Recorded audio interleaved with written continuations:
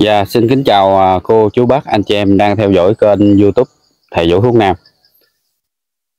Thì à, vừa qua mình có làm một số clip à, phản ánh cái à, thông tin sai lệch về cái bạc hà núi à, của một số cái kênh YouTube. À, chia sẻ lan truyền thổi phồng nó là thoa hằng dược là thuốc tiên à, chữa bách bệnh. À, bệnh gì cũng à, chữa được ai uống cũng được nha à, sắp chôn uống cũng uh, cũng chết à, cũng hết. À, mình nói lộn ha à, sắp chôn uống cũng hết. Đó là do họ chia sẻ. Thì à, à, bên cạnh đó thì ừ, làm cho dư luận xã hội người ta rất là quan tâm. Người ta à, tin tuyệt đối. À, họ cứ đưa lên người này hết người kia hết uống vô hết thì uh, hôm nay uh, Vũ sẽ uh, nói lại nói thêm nữa phân tích lại. Uh, cái nguyên nhân lý do vì sao mà Vũ lại phản ánh như vậy ha. Thì uh, qua chia sẻ thì có cũng không ít những cái bình luận mà người ta cho là mình ganh ăn tức ở này kia đó. Một số người bệnh người ta nói người ta phản ánh thì cũng do họ thì họ họ chắc có lẽ là họ không hiểu được tới cỡ cỡ như vậy đâu nhưng mà do người ta định hướng thôi ha. À, các cái kênh nó quay nó định hướng nó, nó buộc nó người ta nấu như vậy. Hoặc là do cái người bệnh người ta à, thiếu cái kiến thức thiếu cái hiểu biết nha. À, người ta quá tin na tin quá thành nó u mê thành ra là không có nhận định được cái đúng sai cái à, cái hại như thế nào hết thì mình xin phép là hôm nay mình sẽ làm một clip nữa để mình nói lên cái thực trạng, nha. Lý do sao mà tin rồi uống vô hậu quả như thế nào. Tại vì người ta nói là thằng dược ai uống cũng hết, nhưng mà vũ phân tích, vũ chia sẻ vừa qua là có rất là nhiều cái nạn nhân, nha. Chính cái nạn nhân người ta lên tiếng, vũ đâu có đặt điều rồi bịa chuyện. Rồi vũ ganh năng tức ở cái gì ha thì vũ sẽ phân tích. Vũ là thầy thuốc nam từ thiện mà đâu phải là thầy thuốc hốt ăn tiền mà sợ có bạc hà núi. Ế mình mình không không ờ, mình không có hốt được như một số cái thông tin mà bình luận vô đó ha. Thì à, bình luận vô thì cũng chịu khó bình luận lắm cũng chịu khó nói này nói kia dữ lắm ha. Thì mình nói để quý vị hiểu. Với có một số uh, người thì cũng mới có nghe bạc hà núi thôi chưa biết cái thằng lá cây nó như thế nào thì mình quay mình chia sẻ xong đi mình sẽ phân tích ha. À, có nhiều cái điều mà cỡ này thì à, dưới thêm một số cái kênh. Cái kênh thứ nhất rồi nó à, nó cho cái kênh thứ hai chia sẻ. Còn cái kênh thứ ba cái kênh thứ tư thứ năm nữa thì nó cho chia sẻ mới chia sẻ được nha. Còn không là bị quánh gậy bên youtube nha.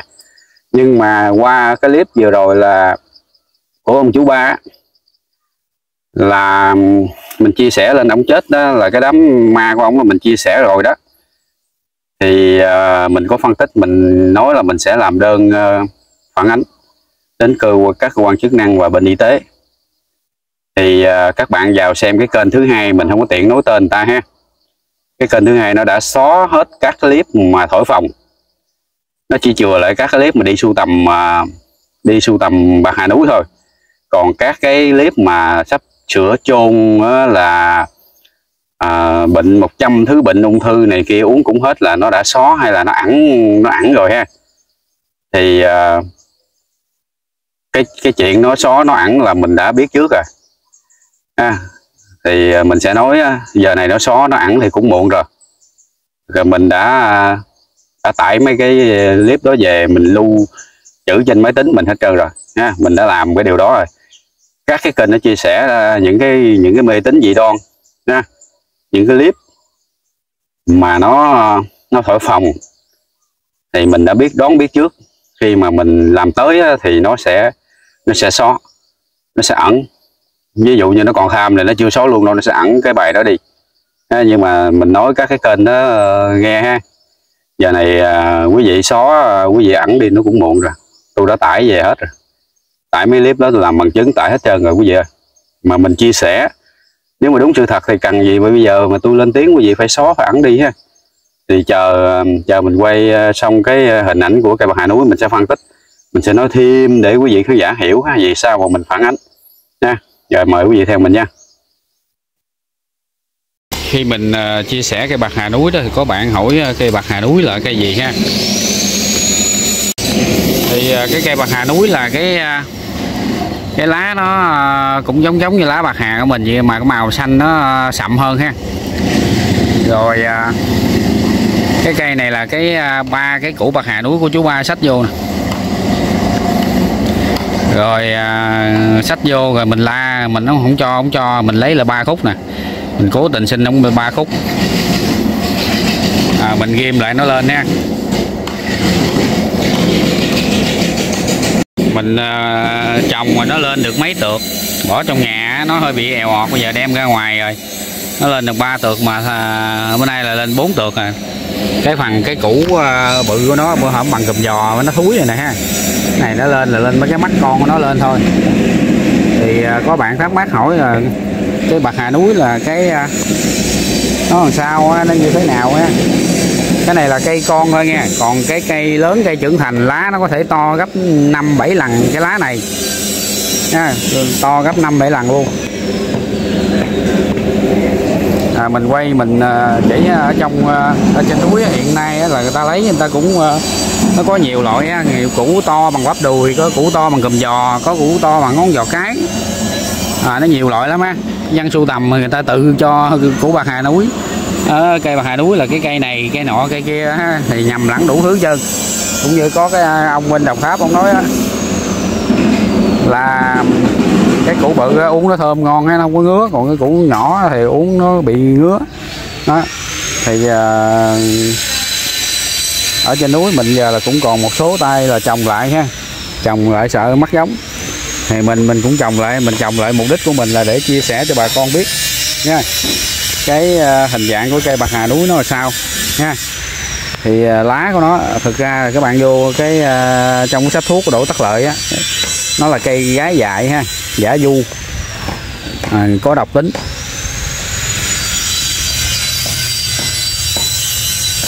Thì cái cây này cũng là cái kỷ niệm của của mình với chú ba ha. Còn sót lại đây.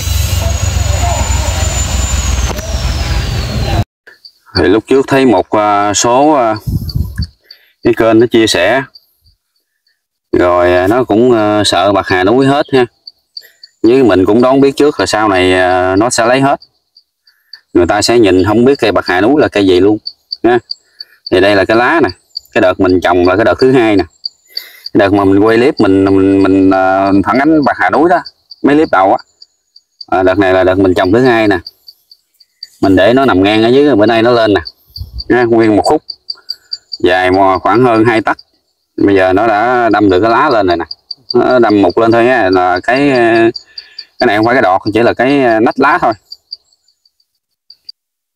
Ở ờ, bên đây cũng lên nữa nè. Nhưng mà cái ờ, cỏ gắt quá, nó che thì nói chung mấy cây này nó ưa ẩm nó mọc nơi ẩm. Phiến lá nó rộng. Thì nó thích cái bóng râm thì mình trồng gặm gạp gì thì nó mới lên được. Ở bên đây cũng lên ha. Bên kia cũng lên luôn. À, mình trồng đâu năm bảy khúc á. Ở bên đây cũng lên luôn. Hổng gài tại mưa bây giờ mưa dầm. Thành ra nó đủ độ ẩm nó lên ha. Nè lá nó nè. Lá nó hơi à, hình mát ha chứ không có phải quá rộng như lá bạc hà à, của mình ăn ha. Ở bên đây cũng có nữa nè. Mình trồng tới à, uh, 5 khúc nằm ngang. Nè. Thì nó chỉ mới lên lá thôi từ cái những cái nách thôi. Mình qua kia mình sẽ quay cho quý vị cái uh, cái um, ở bên đây là mình uh, mình mua mấy cái cây bạc hà con ở núi cấm mà mấy người dân tộc người ta nhổ, người ta bán. Bán theo ờ, cái đường ở dưới ờ, ở dưới cây xăng của núi cấm thì ờ, bữa hổm mình trồng là mình mua nguyên cây về mình trồng ha thì bữa nay nó mới có chuẩn bị lên đọt ha hôm nắng quá nắng, bữa nay mưa, hôm nay nó mới phục hồi sức lực được, nó mới ra. Nó mới lên mấy cái lá non thôi. Thì cũng đâu cũng được 5 khúc hay gì à. mà khúc này à, nó chặt, thành ra nó bị thúi. Có thể nó thúi ở trên thôi, nhưng mà đều à, ở dưới nó sẽ nó sẽ mọc con, nó sẽ mọc cái chồi nách nó lên ha. Do nó bị chặt ở trên này là nó ngấm nước mưa nó thúi. Cái thằng bên đây chặt cũng ít, thành ra nó nó ra còn lên nè. Này nó nó đâm một mấy chồi nách lên rất là nhiều luôn ha như là bên đây bốn khúc còn khúc nữa bên kia. Đây. Đây nó cũng lên nè không vậy sao mà mình trồng trùng hợp với ta năm thứ năm thứ không vậy? Đó thì mình quay cho quý vị xem mới vậy. Dạ thưa à, với quý vị vừa rồi là mình cũng à, đã chia sẻ một số cái hình ảnh của cái à, Ờ, à, cây bạc hà núi. Mà tên thật của nó là gái dại ha. Gái dại gái lửa. Thì ờ, cái cây này trong sách thuốc của độ tắc lợi như mình cũng đã có chia sẻ đó ha. Nó là đại độc. À, độc nhiều. Thì à, trước đây nó chỉ là cái thuốc để trị ghẻ thôi. Thì có thể ai đó ở trên núi cấm nó vô tình để đọc được. Cái công dụng chính của nó là trị ghẻ. Rồi à, bắt đầu là lấy cho cái ông à, chú hai á ha thứ hai là cái ông chú bảy ờ, mà cái một cái kênh youtube số 1 á nó chia sẻ là nó ở ờ, cái ông chú bảy này là ở nhờ trên nhà của ông chú hai đó ha. Hai ông này là hai anh em. Thì à, ông muốn tới nay thì cái bệnh ghẻ ông cũng chưa hết. Rồi sau đó là bắt đầu mới cái kênh youtube nó nó phát hiện là một số trường hợp bệnh ung thư này kia đó. Thì uh, bệnh viện chê này kia đó thì, thì về thì mấy ông cũng lấy cái bài này này mấy ông đang uống được này mấy ông kêu uống đại coi sao. Thì uống ờ, một số trường hợp nó cũng có kết quả ha. nhiều người thì cũng có một số trường hợp có kết quả. Thì uh, nếu như ờ, không có kênh youtube thì nó chỉ dừng lại một vài người dùng thôi. Người này dùng không hết thì thôi người ta cũng đâu có lan truyền mạnh. Nhưng mà sau đó lan truyền mạnh là do kênh youtube này nè. Nó lên nó quay. Nó quay cái đầu người ta thấy hay quá người ta mới có nhu cầu người ta xin xin bắt đầu mới lấy cho thì cho người này uống, người kia uống, thì dụ 10 người uống dính được người thì đầu liên hệ, người đó là chia sẻ tiếp. Từ một cái người mà khỏe bớt bắt đầu là lan ra 10 nha một người lan ra 10 người 10 người thì lan ra trăm người. Thì nhu cầu nó mới ờ, tăng đột biến vậy, nha. Thì ở đây ví dụ phân tích đó, tiền thân của cái bài thuốc mà bạc hà đú với lá đu đủ á, hồi xưa người ta là, cái bài dân gian hồi xưa người ta là lá đu đủ củ xả nha cái bài này mới phát hiện đây thôi chứ không phải là từ xưa tới giờ nha. Không phải lịch sử là từ xưa tới giờ là bài bạc hà núi lá lá đu đủ là hồi từ xưa giờ đâu. Và từ hồi xưa tới bây giờ là bài thuốc nhân gian là lá đu đủ củ xả như mình chia sẻ là cha của ông anh mình là cũng uh, có u tiền liệt tuyến giai đoạn cuối đó. Thì bác sĩ uh, chả, uh, cũng trả về do là cái lớn tuổi rồi không có mổ xẻ gì được. Mà nam giới thì thường bị u tiền liệt tuyến thì về nhà đó là cái con con dâu á, lấy cái bài dân gian là thầy thuốc nam nào cũng biết chứ á. Bài láo đủ củ xả là thầy thuốc nào cũng biết. Thì à, ba cây xả với hai tàu đu đủ là kiên trì nấu 3 tháng ha là chặn đứng được cái à, cái ung thư khám lại thì cái bào ung thư nó không phát triển nữa. Chứ ở đây không có khẳng định là hết nha. Đó thì à, bắt đầu họ mới à, thổi phòng. À, cái kênh thứ nhất nó cho phép cái kênh thứ hai cái kênh thứ hai mình nói ờ, hiện nay nó đang xóa các cái bệnh các cái bài mà nó nó chia sẻ là sắp chết ờ, bệnh chuẩn bị ly hương à, trăm thứ bệnh trong mình này nọ kia rồi đó. À, uống bà hà đuối cũng hết á. Thì uh, khi nó thấy cái sự phản ứng của mình đó à, mình cũng nói rõ trên clip ừ, ở cái clip mà đám ma của chú ba thì mình nói rõ sau khi đám ma xong thì uh, mình sẽ có nhiều hướng để uh, để làm việc với uh, mấy cái kênh này mình sẽ tính từng cái địa điểm ở Cần Thơ, ở núi Cấm, ở ờ, núi Tô. Mình sẽ đem hồ sơ bệnh án tới mình nói chuyện với ờ, các cái kênh chia sẻ. Nhất là các ông thầy 100 á, ở núi Tô á các ông mà cầm nhà cầm đất để ờ, để đi nhập vào Hà Núi về cho đó. Và ông tuyên bố là ai uống cũng hết, ai dùng cũng khỏi cho nó chưa có ai uống mà chết bao giờ cả. Nha.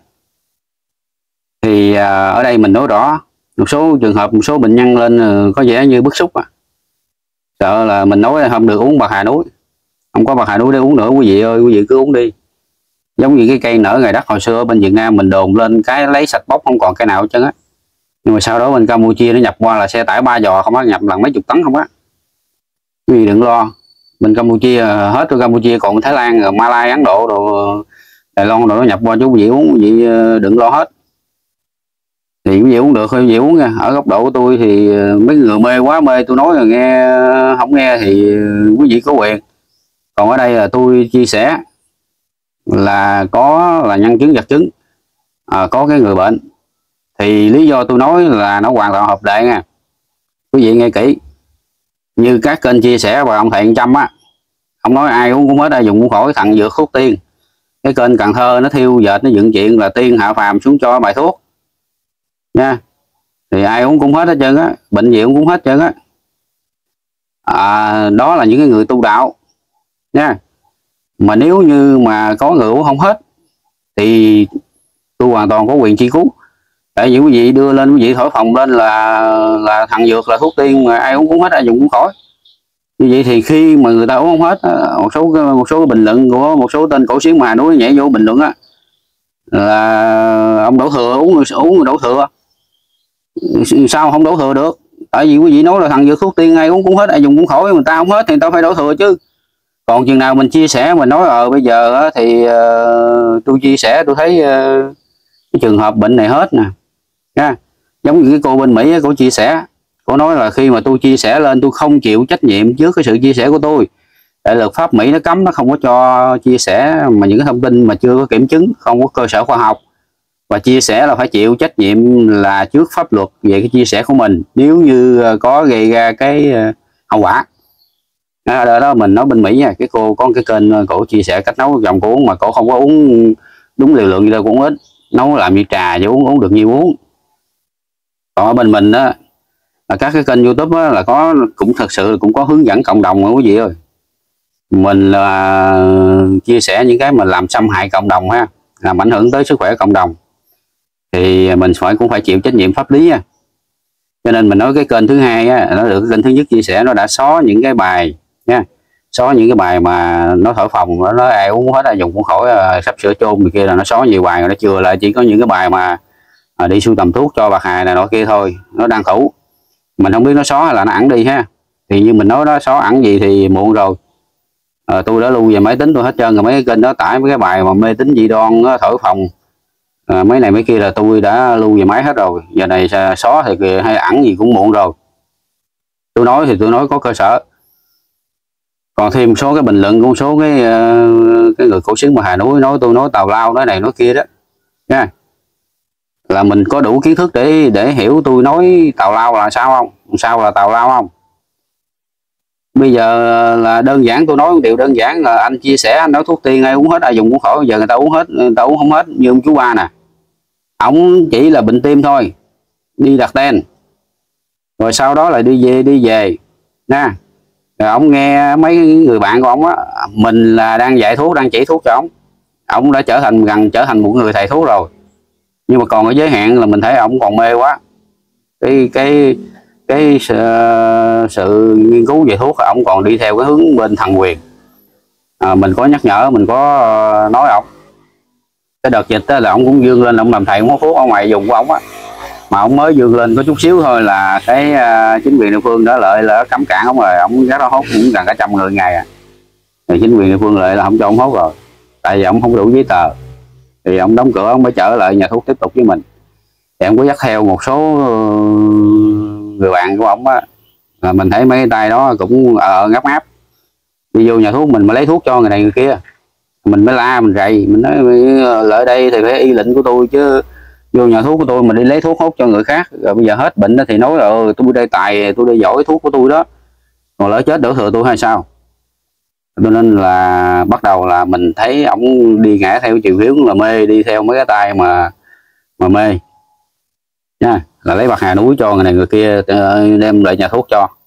Thì ông đó nhỏ cháu kể bên nhà uống hết đó. rồi cuối cùng nhỏ đó cũng đi mổ ờ, đi mổ bỏ luôn uống hết đâu. Rồi à, một số cái bình luận nhảy vô nói mình nói tào lao nói này nói kia ganh năng tức cỡ à, mình xin lỗi quý vị nghe mình làm từ thiện gần 10 năm rồi quý vị. Nha. Nếu như mà các bạn Hà Núi nó hay á mình là người cũng là là rất là thích đi sưu tầm thuốc những cái cây thuốc quý. Nha. À, những cái bài thuốc hay à, mình đi khắp nơi để mình sưu tầm. Nếu nó hay là mình đã là người là, là mình rất có cái khiếu mà sưu tầm thuốc à, những cái bài thuốc những cây thuốc là mình đã đưa nó vô mình ứng dụng mình xài rồi cái gì? Nhưng mà lương tâm của người thầy thuốc là y quấn y quấn của tổ dạy. Rồi hiểu đạo là gì? Thuốc nó có độc. Mình mình đủ trình độ để xài mình mới xài không gì. Mà bệnh nào cần thiết xài mình mới xài. Mình phải hiểu rõ. Bây giờ ở đây sẵn ở đây thì mình nói luôn cho những cái người mê người ta nghe người ta hiểu ha. Cái bạc hà núi nó giống như dụ như mình nói ví dụ về ăn khóm gì tươi lưỡi á là trong cái à, cái nước của nó có cái tế bào gai. Nó móc vô lưỡi mình, làm tưa lưỡi mình. Nha. Rồi bây giờ là cái bạc hà núi, nó cũng tại sao nấu là phải lượt quý vị biết không? Tại vì trước đó nấu không lượt người ta uống vô người ta bị ngứa, bị sốt ruột, bị đau bụng. Thành ra là mấy anh thấy có cặn mấy anh mới kêu lượt mà lượt lấy mấy cái tế bào gai đó đó. Bây giờ đem về mình hướng dẫn, mình đem là thuốc nó có độc là độc nó giống như mình nói ví dụ như cái vỏ khai mì đó mình cho heo ăn con heo chết không? Cái măng đó mình cho heo ăn sống mà nó chết không? Nó có độc cyanua nhưng mà độc cyanua này cái độc ở trong cái um, của cái dại này nè thì nó cũng gần giống như cái chất độc cyanua vậy đó nha. Thì nó nó có cái gai móc uống vô nó móc vô nếu mình lượt không kỹ Ờ, làm sao đảm bảo mà cái cái khăn lược của tất cả những cái người mà ở mọi nơi người dân người ta đó là người ta đều có cái khăn lược đạt chuẩn quý vị nếu mà bên thuốc mà lược kỹ là phải lược qua giấy lọc á nha lược qua giấy lọc. Chứ còn cái khăn lược thì cái khăn thưa, cái khăn dậy khăn mỏng cái khăn nó lũng nữa lược không khéo thì cái gai móc nó vẫn còn. Xong nó móc nó phá cái niêm mạc ruột cái chất độc là một số trường hợp nấu lửa dân lửa vỏ nó khác nó nghe quý vị. À, nấu lửa riêu với nấu lửa lớn nó khác nữa. Rồi sắc dày sắc mỏng nó khác nữa nha. Rồi cái chất độc nhiều khi nó cũng tùy loại nữa. Quý vị lên núi quý vị thấy người ta lấy thứ, thứ cây gái dại cây kia bằng bắp đùi có bằng cầm giò có bằng giò cái có. Lấy đủ loại hết thậm chí là ba cái môn thái của người ta trồng ở trên núi cấm cũng lên lấy luôn. Nha một số chủ vườn ta gượt theo mấy cái tay sưu tầm á cũng có kể tôi nghe là lên lấy ba cái ờ, môn thái của người ta về làm thuốc luôn nha. Đó thì sự nhầm lẫn rất là nhiều nha. Thì do đó là cái độc tố ví dụ như một trăm phần trăm nên mình nấu nó bay được chín mấy phần trăm thì nó cũng còn không phải mấy hoặc một phần trăm. Thì cái người mạnh khỏe thì cái đề kháng sức đề kháng người ta còn uống tôi không sao. Nhưng mà những cái người cơ thể người ta hư hoại hư yếu thì quý vị biết giống như một số bệnh đó, cái đường ruột người ta nó ảnh hưởng tới cái đường ruột người ta ảnh hưởng tới tỳ vị người ta nha thì bây giờ uống vô cái chất độc đó thì nó bào bọt nó ngấm vô ha. Nó ngấm từ từ vô là nó làm hư hoại cái đường ruột ta nha, nó phá hết những cái dây thần kinh này nọ kia các thứ ờ, cái ruột nó bị phế đi. Nó không điều khiển được nha à, ờ, các mạch máu rồi nó không tới nó nuôi được. Thì à, ảnh hưởng tới những cái quá trình hấp thu ảnh hưởng tới những quá trình đó là là là tiêu hóa nha hay là tuần hoàn. Thì bắt đầu nó sẽ có cái sự ứ trệ thì nó sẽ hư hoại thôi. Thì thực tế là có rất nhiều người uống là bị uh, nhiễm trùng đường ruột nhiễm trùng thực quản nha. Rồi đó là cái cái sự nguy hại của của cái, những cái người mà chia sẻ thuốc mà không phải là thầy thuốc nha. Thì uh, họ đâu được phép làm gì quý vị? Thì uh, uh, như là chú ba ông bị cấm ông hút thuốc bị cấm là tại vì ông không có ông có không có pháp nhân còn những người cho bằng hai núi này là chia sẻ thổi phòng. Nha đó là tiên dược hằng dược. Nếu mà chia sẻ thôi thì ừ, cũng, cũng đâu đáng ngại. Rồi này là kiếm về luôn. Vận động mạnh thường quân lấy tiền kiếm về. Rồi cấp phát là cho anh ta luôn. Cho thứ thuốc mà uống mà có độc mà dùng với liều cao. Cái đó là hành vi sai trái pháp luật. Ha, không có được phép của ngành y tế. Đó là là đó là một tội đó. Là đang làm trái pháp luật. Mặc dù mình nghĩ cái tâm mình là thiện mình muốn làm để giúp đỡ người ta. Ha. Mà là mình cho là thiện nhưng mà mình thiếu hiểu biết thiếu kiến thức. Mình mình chẳng những mình không giúp được người ta mà cái sự giúp của mình lại là hại người ta chết lẹ hơn mau hơn. Mình muốn cho người ta hết bệnh mà cuối cùng giống như chú ba đó quý vị muốn cho người ta hết bệnh gì chia sẻ lên rầm rộ lên. Cho ai cũng uống cho ai cũng tin theo chứ đừng nghe theo bệnh viện đừng nghe theo thầy thuốc nữa. À, mới đầu là ung thư thôi bệnh ung thư thôi rồi sau này là bệnh gì cũng uống bạc hà núi cũng hết bệnh chứ mà thực tế có hết hay không? 10 người dùng đó quý vị, đánh giá là có hết được mấy người? Bớt được mấy người? Giống như chú ba ông uống giai đoạn đầu, ông cũng rất là mừng, rất là khả quan đó bạn. Uống thử đó nghe người ta đồn cũng hay quá, uống thử giai đoạn đầu đó. Tháng đầu là thấy khỏe đó. Nội cháu bên nhà uống liệu trình tháng mấy, gần hai tháng cũng khỏe đó bảy khỏe được 30 trăm đó. Nhưng mà cuối cùng là mấy tháng sau uống liên tục, ba bốn tháng sau nữa thì sao? Có u nó to gấp đôi luôn. Và trong cái bình luận của mình là có một số tên nhảy vô bình luận đó nói mình nói tào lao này kia có một cái, cái em nào đó nhảy vô nó nói là nó uống khối u nó to lên, to lên gấp đôi đó. Và nó nó đi khám và trở lại bệnh viện nó khám thì nó cũng phát hiện bốn trường hợp y gan nó uống khô uống to lên gấp đôi bốn trường hợp gì đó. Thì em đó là nữ ha thì khám phụ khoa thì sẽ có những người phụ khoa chung nhau. Rồi trong khi đó là thầy thuốc người ta hồi nào giờ người ta trị mấy đó không được hay sao? Ở trên khắp cả nước này quý vị biết bao nhiêu ngàn thầy thuốc không? Biết bao nhiêu ờ, loại thuốc quý không? Ờ, thuốc chữa ung thư không? Rồi thầy thuốc đã chị trị không được hay sao? Mà mình cuối cùng mà mình quá, mình nghe nó chia sẻ, mình thấy tuyệt vời quá, nhưng mà những cái đó là những cái hết bớt đó là quý vị có biết nó định hướng không?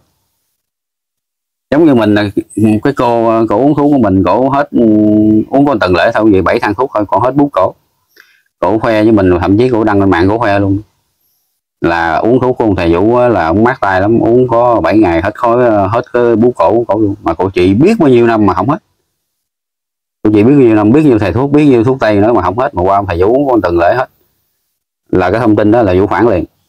Vũ nói, cô nói như vậy là cô mến mộ tôi, cô khen cô thì tôi cảm ơn cô. Nhưng mà cái cái đó là chưa đúng. Tại vì về mặt tế bào thì quý vị bấm lên mạng quý vị con số tế bào ung thư đi.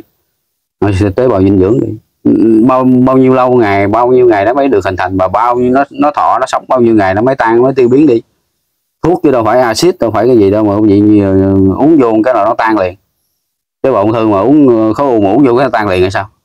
Uống nó tan liền là nó tan cái ruột của vị trước á, chứ đừng nói uống mà tan liền. Tan cái bao tử mình trước cái đó là gì? Như vũ phân tích cho cổ hiểu, nói là cô uống có thể kết quả đó, không phải của tôi đâu. Tôi chỉ là cái giọt nước thôi. Còn cái ly nước của cô nó có nghĩa là nó sắp đầy à. cái bệnh cô giống như ly nước.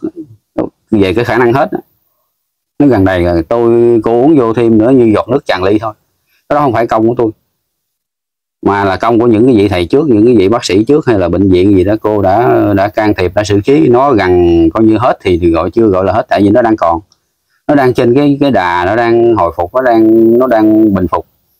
Người cô qua của tôi thì chỉ mới có 7 ngày thì cô cho hết thì đó điều đó nó không thể. Cho nên ở đây mình nói là có những cái sự nhầm lẫn nha người bệnh ta hay nhầm lẫn thậm chí số người, người ta hết bệnh ta còn không biết ta uống cái gì nữa mà. À, chỉ gì ta dụng thấy cho nên mới nhảy qua hai ba ngày ba bốn ngày một số ờ, cái kênh ở Cần Thơ ba ngày là hết thằng kinh tọa. Nha bảy ngày là hết bệnh này bảy ngày là hết bệnh kia hết 100 thứ bệnh. Nha thì làm làm cho người ta quá tin. Như mình nói tin là gì ông chú ba ông làm trong nhà thuốc của mình mà mà ông không đi nghe mình ông không nói tin thuốc. Ông tin ông tin trên cơ sở khoa học. Tại vì cái trình độ của chú ba nó cũng có giới hạn nha. Cái cái ờ, học vấn của ông nó có giới hạn thành ra cái trí huệ của ông nó cũng có nhất định thôi. Cho nên ông nghe nó sự thiêu dệt này ông cũng quá mê đi. Thấy nó quá tuyệt vời. Huống gì ờ, những cái người bệnh khác. Trong khi chú ba là người bình thường mà ờ, người, người có học thuốc mà còn tin mãnh liệt vậy huống gì mấy người bệnh đang có bệnh nghe nói thì chúng bệnh mình quá mừng à. rồi để bắt đầu dùng theo. Đó rồi bây giờ các cái kênh nó chia sẻ uh, như vậy đó ông dùng theo tới cuối cùng ông cho tới hư ruột hư gan uh, hư thận hết trơn bộ lòng hư hết chết. Rồi tôi đưa lên tôi phản ánh lên. Là ở đây là dính thím ba đã xác nhận. Ông có uống bà hà núi. Thì nhiêu đó thôi là tôi đổi thừa mấy cái kênh được rồi. Cho nên cái kênh những cái kênh nó hiểu ha cái kênh đó làm nó hiểu nó định hướng dư luận nó mị dân ha để nó có những cái ý đồ ở phía sau vậy chưa hiểu rồi từ từ vậy hiểu những cái ý đồ phía sau nó là gì. Và cái mà lợi ích trước mắt của nó là gì? Đây là những cái kênh youtube như vậy coi kỹ lại coi, nó chia sẻ cái gì. Cái kênh thứ hai nó chia sẻ gì? Chia sẻ mấy chuyện ma ma quỷ. Chia sẻ mấy cái chuyện mà mà mà ảo tưởng diễn dông mê tín dị đoan. Nói, nó nói lại đang tu. Tu mà tu, nó tu không biết nó tu kiểu gì mà ba hồi chia sẻ từ thiện. Ba hồi thì chia sẻ cái chuyện mà mà phòng the cái chuyện mà vợ vợ trẻ chồng già một đêm phải xử 17 nhát. Chia sẻ ba láp ba sàm với mới viết người ta đâu có coi nữa quý vị. Cái kênh của nó là là, là một hai trăm ngàn người đăng ký. Cái kênh số 1 là tới gần 500 ngàn người đăng ký. Cái kênh số 2 là hai trăm mấy. Còn cái kênh số 3 thì tôi thấy trăm mười mấy còn kênh số 4 thì cũng ờ, vài chục ngàn người đăng ký. Nha còn thêm một số cái kênh nữa. Nó, nó nhiều kênh lắm. Đó. thì mấy ngày chuyên gia là chia sẻ về cái hoạt động uh, chủ yếu là mê tín dị đoan này kia các thứ. Chứ cái, cái chuyện đó là tôi không quan tâm. Rồi thậm chí là cái chuyện mà cái ông thầy trăm đó ông nói ông nhập vào hà núi về ông cầm nhà cầm cửa ông đi nhập vào hà núi cũng vậy, em cho miễn phí không? Cần ai chứ? Để qua để lại thì cũng đưa cái thông tin đó lên nhờ mấy youtube. Ừ, mà nhờ cái kênh ở ở ở cần thơ nó đưa lên. Trước khi ờ, đi tu là có hai ngàn lượng vàng, hai ngàn cây vàng, hai ngàn cây vàng quý vị chứ không phải, chứ không phải hai trăm cây. Hai ngàn cây vàng. Hai ngàn cây vàng mà đem đem về ăn gian nha cụ công an gì đó, mà có tới hai ngàn cây vàng rồi cuối cùng về phải đi cầm đất cầm này cầm kia. Rồi đầu ờ, đảo qua đảo lại cũng cuối cùng ờ, thầy, ờ, ông thầy ờ, 100 này ông đã chịu nhận sự đóng góp của quý mạnh thường quân trong và ngoài nước. À, bắt đầu là có sự đóng góp xong cái đem về nha những người bệnh mà uống vô bị ngứa bị đồ người ta mới liên hệ tôi người ta nói ở bên đồng pháp con ông muốn gì có ba ngày ngứa muốn banh cũng không ông luôn ông sợ ông quản bỏ mà rốt cuộc ông báo cho tôi biết là gửi cái phí qua cho ông ông phải thanh toán gần cả trăm ngàn. Thì tôi đây tôi cũng gửi thuốc từ đây ra tới Hà Nội nha. Có ba ba ngàn thôi lúc trước có ba chục ngàn. Rồi bây giờ lại đưa lên là tới gần cả trăm ngàn vậy thì nó đã phụ thu chồng rồi. Khi ông ông nói là khi ông uống vô ông bị ngứa họng ngứa cổ gì đó, thì nó kêu đi bệnh viện cấp cứu đi. Kiếm thuốc tây uống đi. Rồi điện lại lần nữa nó không bắt máy nha. Đó là cái sự tắc trách mình chia sẻ cho người ta cái thứ thuốc độc mà uống ta gặp sự cố mình không biết đường xử lý. Vậy mình chia sẻ chỉ gì quý vị? Cái đó là hại người nghe quý vị. Nên chứ không phải là nhân nghĩa không phải là làm ơn làm phước là làm phước nó có nhiều cách làm phước lắm quý vị. Những cái tay làm phước tu mà làm phước thiện này là nên dính tới cái gì? Ví dụ như là à, cho gạo cho đồ ăn cắt nhà nha hỗ trợ người ta về mấy cái nhu, nhu yếu phẩm thông thường là nó tốt nó nó quý rồi mình mình không có gành về thuốc mình không có gành về y lý ha, không gành về bệnh lý mà mình lại đi phát tán chia sẻ thổi phòng những cái thông tin là thằng dược này nọ kia các thứ mình cho người ta rồi mình, mình ghi nhận kiếm nhiều cái trường hợp hết khỏe bớt ghi nhận. Bao nhiêu ngàn tấn bạc hà núi ờ, phát cho dân rồi như vậy là bao nhiêu người uống có kết quả vậy? Mà tôi nói nói con mình tôi nói là mấy người mê nhảy vô con mình không nói chứ ai nói bây giờ lúc trước là không có mình tôi về trong những cái bình luận đó là có rất là nhiều người người ta uống người ta nạn nhân ta uống ta vô người ta xác nhận rồi đó. Số tên vô bình luận chửi tôi kiếm đường một một tên mà bình luận cả chục cái cái bình luận vô trong cái bài viết của tôi. Cái kênh của tôi là không có xóa bình luận nào chân quý vị quý vị chửi tôi cũng được quý vị khen tôi cũng được tôi để y thinh đó chứ không có thủ đoạn giống như mấy cái kênh số 1, số 2, số 3, số 4 mấy bình luận trái chiều quý vị bình luận là cha tôi chú tôi mẹ tôi uống hết là quý vị bình luận xong đi rồi nó để cho quý vị đó chứ thời gian sau là tối lại xóa mất tiêu. Xóa sạch hết. Tôi nói nói thêm tôi có chụp để rất nhiều bình luận nó xóa chưa kịp. Lúc mà cách đây mấy tháng nó xóa không kịp.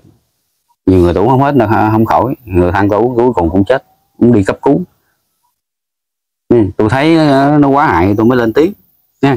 Còn nhiều người quý vị mà quý vị mê quý vị tin quá ở ví dụ bệnh viện mà thầy chơi bác sĩ chạy rồi sắp chết rồi đó găm thứ bệnh ung thư thì uh, quý vị cứ việc uống thoải mái. Vì vị uống thì uh, hên thì sống mà xui thì chết. Nha. Chứ chứ không có phải mà giống như họ là ai uống uống sống đâu quý vị ai uống uống sống thì quý vị tìm tới tôi nữa quý vị uh, quý vị nói tôi nha. Ở đây tôi nói là chia sẻ là phải công tâm phải khách quan phải có sự hiểu biết. Đừng có bị dân nha. Đừng có thổi phòng quá. Mà hại biết bao nhiêu người có nhiều trường hợp đó, là tôi nói là trong nhà thuốc tôi là đang uống thuốc ngon lành bệnh cũng bệnh viện thầy với bác sĩ chạy tôi không nói dỗ đâu. Trường hợp là cha vợ của, của anh hùng. Có u gan đau ổ bệnh viện chê ờ, rồi mổ mổ không được. Về uống thuốc tôi là người ta nói người ta khỏe bớt là bảy tám chục phần trăm. Xong có bắt đầu nghe lời bà hà núi thằng tiên thằng dược mà. uống vô hai ngày vậy chết đó quý vị chính người nhà ta lên tiếng đó. Tôi nói thêm nó bớt hồi nào muốn nói tôi biết tôi nói thêm nó bớt, muốn biết tôi nói đúng hay sai, ganh tị không, vô zalo tôi xem. Tôi để số điện thoại đó, mình vô zalo tôi mình xem coi. Tôi làm từ thiện, hút hút từ thiện hơn 10 năm nay rồi. Tôi làm từ thiện mà tôi có ăn tiền, ăn bạc, ai đâu mà tôi làm từ thiện xin lỗi quý vị. Ít người tôi còn khỏe nữa. Đông người thì mở thêm nữa. Chứ không phải nói, trời ơi, ông nhà thuốc ông ế, ông ông ganh năng thức ở với mấy người cho bạc hà núi cho từ thiện mình mình u mê quá, mình mình quên người ta đang nói cái gì, quý vị hiểu tôi đang nói cái gì, tôi phản ánh cái gì không? Ví dụ như tôi, huynh đệ tôi đi, ngày hốt một ngàn mấy người. Bắt người ta ngồi chờ đợi này nọ kia rồi tôi cũng gai rất lương tâm lắm chứ. Mình phải chỉ ra làm sao cho nhiều người biết thuốc biết thuốc mà chữa bệnh hiệu quả an toàn cho bà con. Mình hốt người, ngày trăm, hai trăm người cũng được nữa. Không ít lợi thì mình mới mới có đủ thời gian, đủ thuốc để phục vụ tốt cho bà con ta. Một ngày một ngày hốt một ngàn mấy người thì quý vị suy nghĩ rồi thuốc men ở đâu, rồi rồi làm sao mà bắt mạch sâu sát cho người ta được. Đó. Người làm thuốc từ thiện là cần có nhiều cái người mà học thuốc. Chia sẻ như mình là mình cũng đang đào tạo khoảng thêm mười mấy người nữa. Từ đây ra tới Hà Nội luôn á, từ Cà Mau ra tới Hà Nội luôn quý vị. Có thể là đến trực tiếp nhà thuốc hoặc là đào tạo từ xa, chỉ thuốc được. Nha chứ không không không phải là mình uh, cho mình là một số một số hai gì mấy kênh nói những cái lý luận chia sẻ. Um, nói tôi hốt ăn tiền này nọ kia rồi nó nói khơi khơi khơi khơi mình muốn biết cái gì mình biết rõ mình đã nói. Còn mình không biết mà mình nói cái đó là mình mang nghiệp. Cái đó mới là nghiệp á. Ừ, của xã tôi nói trời trừng phạt này nọ kia là tôi làm sai y đạo. Tôi nói sai sự thật. Tôi cổ xuyến điều này điều kia là tôi chỉ thuốc tầm bậy người ta uống người ta chết này nọ kia thì cái đó là tôi làm sai đạo y sai đạo trời thì tôi mới bị trừng phạt. Là giống như mấy tên chia sẻ cổ xí này nè nó mới bị trừng phạt. Chứ làm sao mà tôi lên tiếng tôi phản ánh để cho người dân ta biết mà là tôi lại bị trừng phạt cái gì? Đó. Thì bây giờ mình để ý xung quanh mình đi. Tôi nói thì tôi có khẳng tôi nói là tôi có nói có thể quý vị không cần tin tôi. Quý vị để ý xung quanh vậy đi. Còn người ta uống á, thì như đa số tôi nói là lá đu đủ nó chữa được nhiều bệnh lắm bệnh phổi ung thư này nọ kia một số khô. Một ngàn người uống dính được mấy người thôi chứ không phải là ai uống cũng dính hết. Đó, một số trường hợp uống khỏe bớt này nọ đau nhức xương khớp rồi là lá đu đủ là do lá đu đủ. Còn như một số trường hợp mà bỏ cái bạc hà bỏ cái lá đu đủ ra là uống bạc hà núi không không có tác dụng gì cả quý vị. Số người rồi về người ta nói tao không có không có bệnh ung thư thì tôi không muốn lá đu đủ tự người ta bỏ lá đu đủ ra là không có tác dụng gì hết còn thuốc nó có tác dụng mình mình mấy cái tay chia sẻ nó thổi phòng nó chỉ nói là bạc hà núi là thằng dược này kia, không có hoàn toàn không nói tới lá đủ. Mà trong khi cái chính nó là do lá đủ. Thì những người thầy thuốc những người có chuyên môn ta sẽ biết là nó là do lá đủ. Còn cái kênh nó cần hơn nó lôi kéo một bác sĩ gì vô nó lên nó ca ngợi, bác sĩ mà ca ngợi hai cái thứ này là thằng dược. Trời ơi, bác sĩ mà mở miệng, bác sĩ bên khoa học mà mở miệng nói hai cái thứ thuốc này là thằng dược. Thằng dược là thằng dược sao trời? Anh là bác sĩ anh theo tây y thì anh anh ít nhất anh anh muốn anh ái mộ cái thuốc đó anh phải đem đi quá nghiệm coi ở trong đó nó cứ chứa cái chất độc gì chứ. Anh công bố chất độc nó lên cho người ta biết à, anh anh công bố anh theo cái khoa học anh công bố là khi nấu lên thì cái chất này nó bay hơi nó làm sao chất độc nó bay hơi làm sao nó khoan giải sao anh không nói trên cơ sở lý luận khoa học chứ. Anh nhảy vô anh cũng ca ngợi anh nói bây giờ là à, mới mốt cái chỗ của tôi ờ, là khi mà người ta lại nên đi chích thuốc là tôi sẽ cấp phát bà hà núi luôn đó. Ông lấy về ông cho đi ông thấy cái cảnh. Bệnh nhân tủ người ta chết đi ông thấy cái cảnh. À, ông gắng lấy về ông cho thấy cho người ta uống vô người ta chết rồi ông thấy cái cảnh. Cái bằng ngon nó bị rút bỏ luôn cho ông biết. Mình bác sĩ thì mình phải nói theo khoa học chứ mình chữa bệnh thì mình phải dựa vô cơ sở uh, uh, y lý uh, bệnh lý chứ ở đâu mà ủng hộ bà Hà Núi mà thằng dược à, chị bách bệnh này kia là cái cái quá trình học của ông nó làm sao rồi đó? Ngay quá trình học, quá trình tốt nghiệp của ông nó làm sao? Có vấn đề. Là bác sĩ mà nói kiểu đó thôi cũng rất nguy hiểm. À, rất nguy hiểm.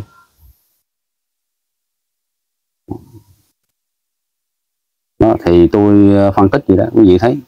Ha rồi các cái kênh đó thì hiện nay nó có dấu hiệu ha cái khi tôi ra clip và thêm clip nữa là sẽ có nhiều cái cái kênh số 1, số 2, số 3, số 4 nó sẽ xóa những cái mà nó thổi phòng.